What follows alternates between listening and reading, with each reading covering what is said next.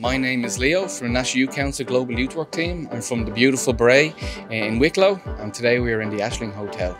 Uh, the purpose of today was to give youth workers that comfortable space to be able to explore what exactly is climate justice, what does it look like, what does it feel like, and also to network and to hear from young people, youth organisations who've been doing it. Today was really about kind of celebrating the youth work sector is responding um, to the climate justice needs and that young people are a part of that kind of response too. So today, yeah, we, we brought youth workers um, or even just educators through different spaces from kind of new methodologies, new knowledge bits, new skills um, of how do we use that youth work practice to be able to engage young people, youth workers, the, the public through this climate justice journey.